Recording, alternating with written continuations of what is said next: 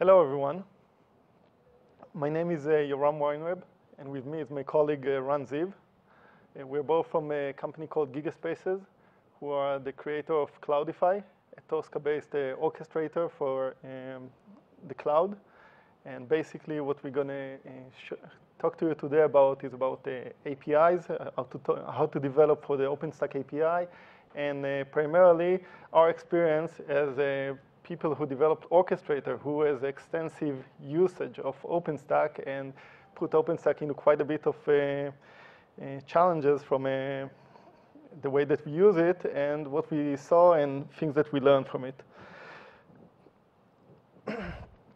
so in terms of the structure of, the, uh, of our, our session today, I'm going to start with a short introduction to OpenStack API and how to uh, basically from a user perspective, how to interact with OpenStack, uh, mainly programmatically, but uh, also in general.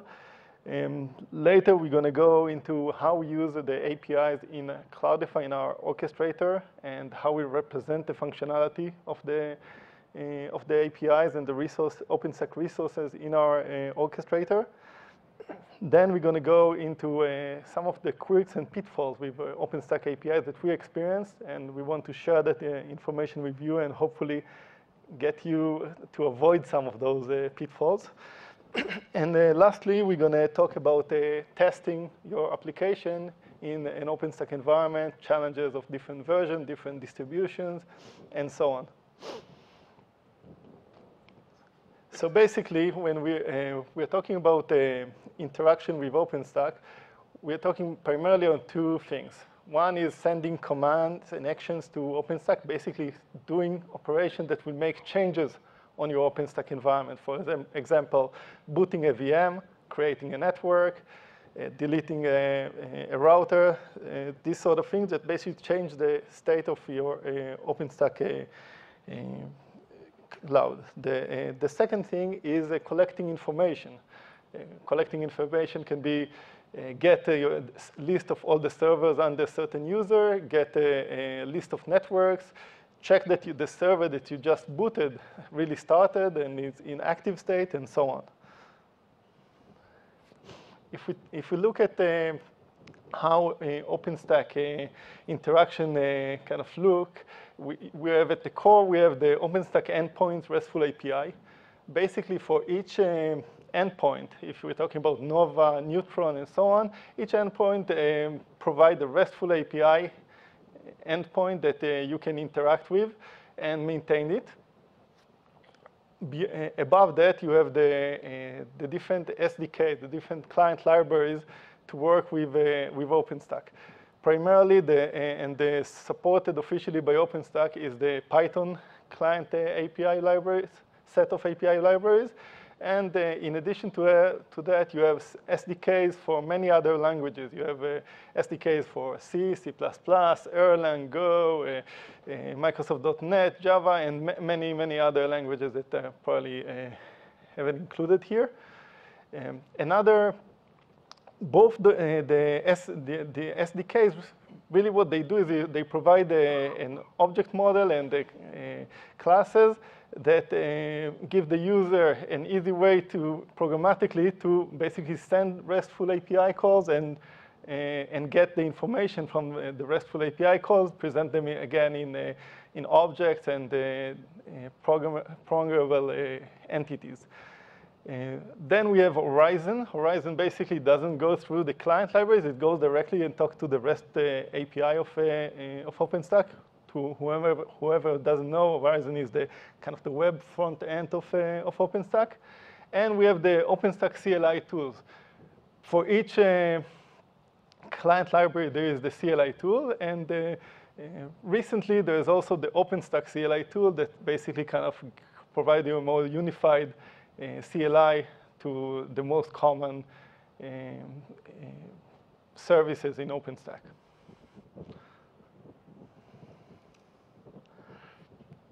So when we look at the RESTful uh, API endpoints, we have uh, some things that we need to take into account and be aware of. First, there is the versioning. Uh, for each uh, endpoint, um, will support uh, versions. There will, be the version that currently is the version that is the current for the release, but it also will support, uh, most likely, uh, older versions. And that's very important when it comes to upgrading your application that you develop versus upgrading OpenStack. Sometimes you may want to upgrade OpenStack and you don't want to start uh, be worried about each of my applications that I develop with OpenStack. Uh, how will that behave with, uh, uh with the upgrade? So by specifying the version that you're going to work with, um, it's supposed to maintain the, uh, the same API contract uh, even when you upgrade it to a new version. Next, there is the different interfaces the public internal admin. If you are writing an application, a user application that will start a VM or will create a network, do things that are from the user perspective, most likely you're going to work with the public uh, interface of the, uh, of the API endpoint. There are two others, the, the, internal and the admin. The internal are really what the, in, the internal components of OpenStack use when they uh, do uh, the operations. All the interaction inside OpenStack are done either through message queue or through going to the, uh, to the REST uh, API uh, endpoints. And you have the admin interface, which let you uh, expose to more, in some cases, to more admin uh, set of, uh, a superset of, of calls, for example, that will that basically serve the admin of OpenStack versus the normal user. And the interfaces sometimes will, uh, uh, will be uh, separated because you want to give different le access levels, protect them with firewall. Perhaps the public one will be available outside the firewall the uh, admin and internal may be uh, behind the firewall and will only be uh, exposed to internal users that are running within the firewall boundaries. The last point I want to make here is about format currently the most common and actually the only one that is going to be supported moving forward is the JSON format of inside the, inside the HTTP calls. There used to be also an XML format, and now it's uh, deprecated, and in, in the newest releases, it's even not available. So if you look at uh, some example of uh, endpoints, and you basically you'll see uh, for each endpoint that you're familiar with, you're going to see uh, the, that there, it has an API endpoint representation, and I listed here the current versions for each of the, uh, the different endpoints. So these are the core, like uh, identity keystone, uh, compute nova, uh, image service glance, and so on. You have also partial list. That's not everything, but just a partial list give you an, uh, an idea of some of the additional uh, projects and services that also each of one of them will have their own API endpoint. And by the way, in order to, um, to get all the API endpoints, you go to Keystone. Keystone, when you uh, authenticate with Keystone, you'll get back the list of all the, the different endpoints that are available, and uh, you'll be able to, uh, to start from that. You, you don't need to have a intimate knowledge of each one of the endpoints, which port it's, it's uh, on, and so on. so when you were talking about debugging for uh, when we're talking about developing for the API, there's also the uh, debugging and how to uh, check and feel how a certain uh, uh, endpoint behaves and, and do the operation that you want to later incorporate into your application uh, beforehand from the CLI, later in a sample code, and then maybe put it in your application and how to debug it. So you have the the CLI will give you the flag like the minus minus debug flag, which will give you a lot of output of what the CLI did and which REST API calls it's actually triggered in order to do, for example, an OpenStack server list or a, or a Nova boot or whatever other uh, API uh, CLI call, uh, commands you're going to run. Um, the Python uh, SDK once you uh, once you write in Python your code, um, you'll uh, you'll be able to add logging to the um, to your code so that you'll see exactly what each one of the client library is doing, the same way as you, uh, you you've seen from the CLI, and you can match what the, how the behavior happened on the CLI versus how it happened in your application, and maybe find differences or why things went wrong if they did. Then you have the uh, VM logs. Uh, once bo VM booted doesn't mean that it's accessible and that you can uh, uh interact with it. By accessing the, v uh, the, the, VM logs either through Horizon or through the CLI, or actually also from the Python SDK, um, you're able to see how the boot process of the VM happened and find out if something went wrong, uh, wrong in the process. Um, in addition to that, sometimes the information coming back from uh, uh, the RESTful API calls will not give you enough data to understand what really went wrong when things went wrong. So in, in certain cases, you will want to also look at the back end of OpenStack to see how the services of OpenStack uh, behaved uh, and responded to your API call.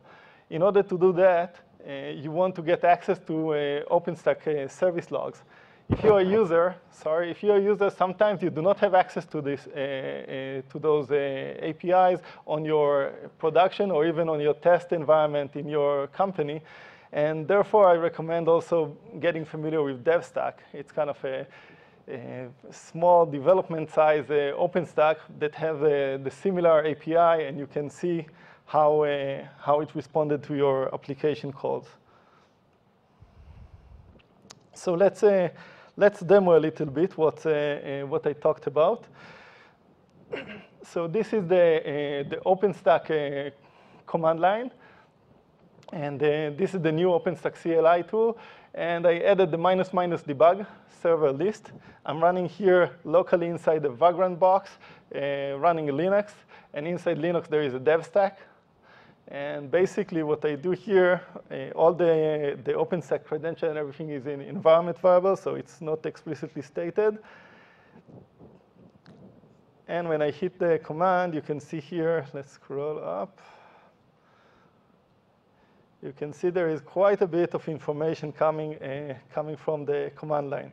And uh, I think the most important, you can see here uh, things like which version of the API was contacted, right, in, in this area, and which parameters were used. But I think maybe the most important piece here is this piece. And you'll see in, in certain cases, you'll see several of these. These are the actual RESTful API calls that were made from the, uh, from the Python client library underneath uh, the, uh, the CLI utilized.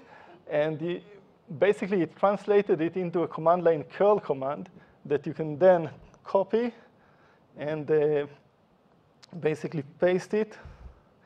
Here, just uh, if I just remove the minus i, which will skip the headers, and uh, actually, let's run it like this. So basically, what I see here, I triggered the same command as was triggered by the CLI. This command here just went to, um, just did a get and gave the uh, did a get, and you can see here uh, the response back coming from uh, OpenStack. You can uh, um, you can also pretty format it with one second.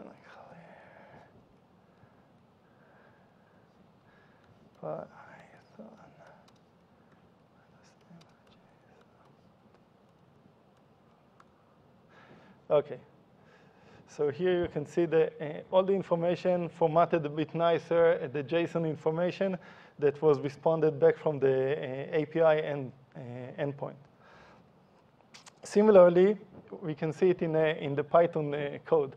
So in the Python code here, what, what you can see is that I'm basically just starting a, a Keystone client, authenticating, providing the token to, to the Nova client, and then before actually triggering the command of a server list that is down here, what I'm doing here is I'm basically adding the logging that will make sure that I get the information uh, similarly to what we've seen from the CLI. And that's uh, the logging.debug in the level, and also the HTTP log debug true, which makes sure that it's gonna uh, gonna log all the RESTful API calls and responses from them. So if I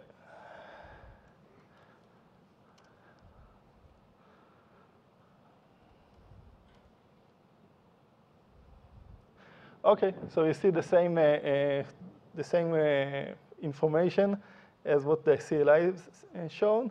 Last I want to show you here is from the command line, I can also check on a certain instance that I have, that my instance called test. And basically what I'm trigger, I triggered here is a console log show command. And that show me all the, the, the information of the VM boot and I can see here, let's say if it did not get an IP from a DHCP or something like other that might have caused the VM not to be uh, accessible.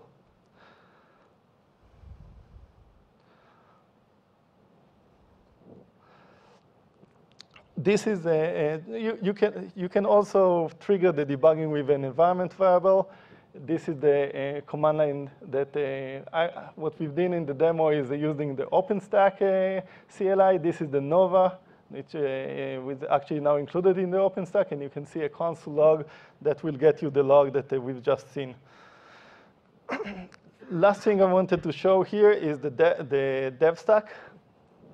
When you start a dev stack, if you want to debug it, use this, uh, uh, this configuration in your uh, local RC uh, file so that when you start the DevStack, and dev stack you just git clone DevStack, you, run, you configure the, the RC file, and you put there, in addition to the uh, credential, you put this uh, piece, uh, this information, and that will log all the all the services information to the log file.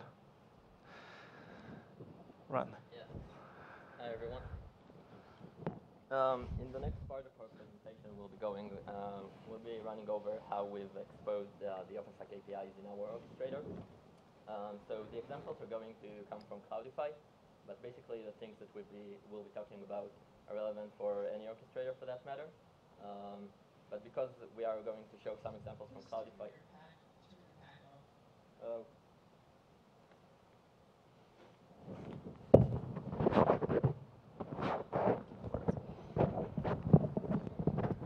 yeah. Test. Okay. Should I repeat everything or like? Right, so I, I, just mentioned that we're going to run through the, um, the way we've exposed the OpenStack APIs in Cloudify. And for that, uh, I'm going to have to tell you just one slide about Cloudify. So basically, what's Cloudify? Uh, it's an open source pure play orchestrator. Uh, what it lets you do is basically just uh, deploy, orchestrate, and manage Tosca-based uh, applications. Uh, if you're not familiar with the Tosca standard, um, it's an open standard which lets you describe your application topology um, its components and the lifecycle events and relationships. And beyond the, the topology, it also lets you describe um, the workflows uh, that uh, can help you uh, manage your applications, uh, day one and day two operations like healing, scaling, monitoring, things like that.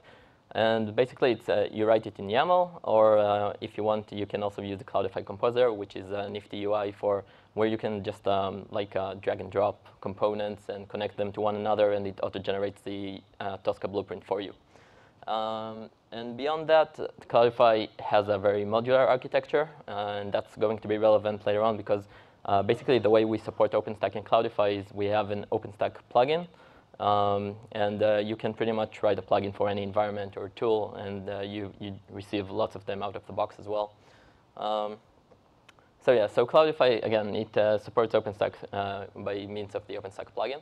And um, the plugin was designed with uh, some, like, the, uh, the things that we, we kept in mind when designing this is that we want the plugin to um, support any use case, not actually impose any restrictions on the user, um, whatever its use case is. Um, and while doing so, also be simple and uh, offer um, ease of use and, uh, and like syntactic sugaring where possible and things like that. And it also has to be robust at dealing with uh, cloud errors because those are very common. And beyond that, um, the last thing we kept in mind was uh, to make as much abstraction as possible where um, you, you have like the ability to make things that are common to also other cloud environments. Um, so the way plugin exposes types is um, uh, resources. So, I'm sorry, uh, is through types. And what we did in, in the plugin is basically for each type you have like the more prominent um, parameters, um, the ones that are always being used, and those are like exposed explicitly by the plugin, and the rest are uh, also uh, available, but uh, only through a direct override. And beyond that, sorry, beyond that you can also um, configure the OpenStack client that are used to make these calls uh, against OpenStack. So we're just going to run through a really short example.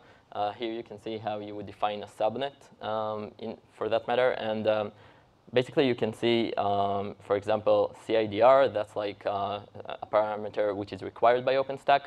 And because of that, Cloudify also um, exposes it directly here. So you have to input it. On the other hand, what you don't see here, if, for example, is the IP protocol, which is also required by OpenStack. But Cloudify simply provides you with a sensible default, which is IP version 4, so you don't have to input it. DNS name servers, for example, that's something that's also, it's not required by OpenStack, but it's uh, very often configured. Uh, at least that's what we found, so we also expose it. But enable DHCP, for example, um, that's less common, so we didn't actually um, expose it. But then if you want to actually override it, that's an example of how you would do that. Um, yeah. This is another example for a server. Uh, basically, all I wanted to show here is that um, you've got like the image and flavor, uh, and they're passed by name. So in, in, the OpenStack API, you, you're supposed to use like an ID. Um, and basically, just one of the things an orchestrator can do is just uh, do syntactic sugaring and uh, translate the name to an ID for you. Um, okay, some considerations that you want to keep in mind um, when like writing an orchestrator is for example, some server operations, uh, they take a while to finish. So we're talking both about like um, just, just the time it takes a VM to boot and like the cloud init startup. And then the, all the time, if you configure your server with a password, it needs to retrieve it from the metadata service. And the SSHD service needs to start up if you have to like operations to run against it. And in general, an orchestrator should like have some mechanisms to support asynchronous operations. So in the OpenStack plugin, we have some of them. Um, um, yep. Um, beyond that, also the same is true for volumes. Um, they also, like when you create them, attach them, detach them, uh, again, you need some sort of handling for async operations. And uh, beyond that, um, volumes, they often have like uh, a specific set of operations that, um, that are common if you want to, to make them usable, like formatting and creating a file system, mounting them. So um, in this case, the plugin also takes care of these sort of things out of the box. Um, something else you might want to consider when uh, exposing uh, the OpenStack APIs in, in, an orchestrator is um, in security groups, uh, you always have a default security group in OpenStack. And the default security group, um, it might not uh, be what the user wants to have on, on his VM, but it always gets attached unless explicitly um, mentioned otherwise so uh, if a user, for example, or um, like had other um, security groups that he wanted to connect to the to the VM, the the orchestrator might must be aware of this at uh, creation time of the VM. So it doesn't actually create the VM and only later on connects the security groups. Uh, because then the VM will also have the default security group, and that might not be acceptable. Maybe it's got like uh, rules that the user isn't interested in.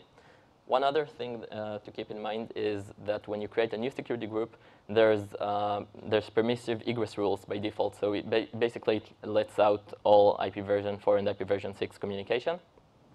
And um, this might be something that the user doesn't expect because that's like the default of OpenStack. So what we did basically is just expose one uh, parameter, which uh, just by uh, having it, we think that uh, it, it like uh, pulls more attention by the, by the user to um, the fact that uh, these default rules exist. But we also set it to false, like we deferred to OpenStack's better judgment on that one and set the default to false. Um, last thing I want to show here is just, uh, we've mentioned before that uh, you can also configure the parameters for um, the OpenStack clients uh, that are used to make the calls against OpenStack. So this is an example of how you would do that. Again, it's just uh, basically just another way of uh, making sure that we don't prevent any uh, like make any restrictions on the user, uh, whatever his use case is. Next, we're going to go over um, some quirks and pitfalls in the OpenStack API. Um, basically, just you know, sometimes not all of the APIs are necessarily as intuitive as you would like them to be. Um, whether it's due to historic or legacy reasons or just random bugs, whether they're already declared as such or not. And uh, the orchestrator can definitely help with handling these sort of stuff. So just going to run through a bunch of them. So the first one I want to, to talk about is uh, basically a network in OpenStack can have more than a single subnet. And when you actually create a server or a port, you only like uh, actually have to define which network it's going to sit on, but not the subnet. The subnet is going to be chosen arbitrarily. So um, if you want to actually place a server on a specific subnet, one like the, the way we, we do it is uh, create you create a port and when you create a port beyond uh, sending over the network ID, you can also def define which subnet it's going to sit on by using the fixed IPs parameter, which might not be that intuitive. Once you have, once you have that, you can also connect the server to the port, and then you have a server on a specific subnet. Next, um, key pairs. Uh, they're the only resource that's actually managed on a per user basis rather than a per tenant one. Um, and it can just lead to funny behavior sometimes. Uh, for example, um, like heat stack, uh, if it, you get like a heat stack on one tenant, uh, which was created by one user, the other user might not be able to delete it actually because uh, if, the, if the stack also includes like a key pair from uh, which belongs to the first user, then the, second user won't be able to delete it because it doesn't got access. In general, it just breaks uh, isolation between tenants because an, an action on one tenant might affect the other. Um, so that's just something to keep in mind. Um, next, floating IPs uh, in OpenStack, they must first be allocated and then attached to a server or port. However, there isn't actually any validation when you try to do that, that the IP isn't already attached somewhere, right? So if you create a server, you create another one, you, you attach the IP to the first one, you try to attach it to the second one, the first one is just going to get disconnected. Um, and basically, it just brings up race condition scenarios. Another thing that like an orchestrator should keep in mind because uh, you know if you check if an IP is already allocated and then you try to attach it, it doesn't mean that it's ne necessarily going to work because maybe it's al already attached to another one in between the time that you checked and the time that you attached it. Onward. Uh, so the Nova API for adding a security group is actually, it's not thread safe. Um, so if you run like, if you try to connect two security groups at the same time to the same server, uh, sometimes only one of them will get connected and not necessarily both of them. Um, and like the way uh, we solved it in our orchestrator is basically just uh, verify after you add a security group that it uh, really got connected. Otherwise, you try, you just retry it. Um, and the Neutron API for adding security group to, to a port is actually, it is thread safe, However, the API still isn't concurrency friendly because what happens is, as opposed to the, uh, the server API for adding a security group, here you don't actually only uh, mention the new security group that you want to add, but you also you have to like um, declare all of the security groups. Uh, so if another client uh, connected a security group, uh, like a new one to the, to the VM, you also have to be aware of it when you um, create um, your own security group. Another one um, is ICMP rules in security groups. So a security group rules, um, they're usually defined over a port or a range of ports, but ICMP rules don't have this sort of association to a port. Instead, what they have are types and codes, okay? Um, and basically, just like we wanted to create a simple um, I, like uh, rule to allow a ping, and which is ping's uh, type and code are zero, um, and like there's no actual normal API for it. Apparently what happens is you're supposed to use the port range max and port range min um, parameters of a Neutron security group and uh, basically just translate it to code and type. So this is an example of how you would create a rule which allows uh, ping from anywhere. Next one um, is about um, adding um, right, uh, a security group to a server. So uh, back in the day, you used to have Novanet, um, and while you can have many security groups with the same name, if you want to actually add a, a Novanet security group to a server, you can only use um, you can only do that by name and not by ID. So if you have multiple uh, security groups with the same names, uh, it's just gonna be ambiguous and the API is gonna fail.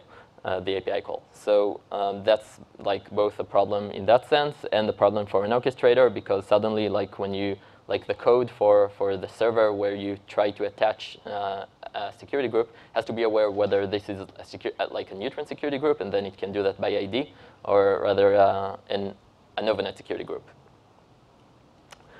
Next one um, is about uh, ports. Uh, so actually this bug uh, was already fixed, but um, up to the Kilo release, if uh, anyone's still using uh, Kilo or uh, before. So ports used to be um, like if you created a port explicitly and then attach it to a VM and then like took the VM down, terminated it, the port would actually get deleted too. from an orchestrator point of view, that's just problematic because again, it breaks abstractions uh, one, uh, one resource's life cycle affects another, so the, the orchestrator must be aware of it. Um, but again, it got fixed in the Kilo release, um, so it shouldn't happen anymore. Only a port that you uh, create uh, implicitly by creating a server and connecting it to a network would get deleted when deleting the server. Um, next one is about uh, Keystone roles. Um, they are assigned per tenant, um, but uh, when it comes to admin roles, Actually, if you set uh, any user as an admin on any tenant, it becomes immediately an admin on all tenants. So there's no like uh, an admin for a specific project. You're an admin uh, across all projects. And that's both problematic like security-wise, and there, then there's also the matter of, um, we actually noticed that uh, if you try to list resources using an admin account on one tenant, you sometimes you, you'd be able to see resources from another tenant. And basically how we ran into this is just we had this test and we wanted it to be like an admin, like we ran into both of these issues because we wanted uh, the user for the test to, to have an admin on one project and suddenly like at the cleanup stage, uh, it listed all resources across other tenants as well and deleted them too. So just something to be aware of. Okay, next section is about uh, how we test uh, our both our OpenStack plugin and just in general against OpenStack APIs. So um, we separate our tests to three sections. There's like unit tests. Uh, for unit tests, you can use either like the standard uh, mock library if you're using Python or custom mocks, or there's also the Mimic project for those of you who are familiar with it. It's a, it's a Rackspace project. It um, basically lets you, it um, mimics some of the OpenStack services. Uh, so basically you get like uh, really good mocks out of the box. Uh, beyond that, you've got integration tests, uh, which test the plugin's operation uh, against like a real OpenStack deployment, but like it only checks like a specific operation, for example, creating a server, right, or, or like creating a security group. And then you'd have like system tests which both check the plugin end to end. So whether it's like both creating a server, creating a security group, and connecting them together. And also like we use the OpenStack plugin to simply run all like most of Cloudify's tests, end to end tests on the OpenStack environment. So this is just uh, some code sample from uh, like this is for creating a volume. So I just want to show that uh, in this case you have like a bunch of uh, open, uh, uh, sorry, a bunch of Cloudify code um, like before and after the create volume call to this, using the Cinder client. So these sections are probably something you're going to be testing using um, unit, normal unit tests, right? And you can see that we, oh, sorry. Sorry. So you can see that we actually um, inject the Cinder client using a decorator up top. So it's really easy to just mock it and make sure that um, the unit test doesn't ever communicate with any OpenStack um, deployment. And then like you'd have an integration test which actually checks this specific method, just including the call to the Cinder client. And again, uh, you, you, you then want to have like a system test which also tests this together with other um, OpenStack uh, resources creation and uh, orchestration. Okay, so regarding our test environments, um, so both, both of our integration tests and system tests, uh, they run in parallel over mul multiple OpenStack tenants. And that's uh, the reasons for that is, first of all, it's, uh, it gives you pretty good isolation. It's really easy to clean up. Um, there's uh, something called OS Purge, which is a really nice tool. Basically just really easy to delete an entire environment of uh, like a tenant of OpenStack using it. Um, for those of you who haven't tried it, so maybe you're not aware of it, but uh, OpenStack actually um, imposes uh, really tough restrictions on the order where you can delete stuff. Like sometimes if you want to delete uh, like an interface from a router, it won't let you do that because there might be a floating IP somewhere that needs like the connection to the router, all kinds of uh, weird things like that. So OS Purge can help you do that.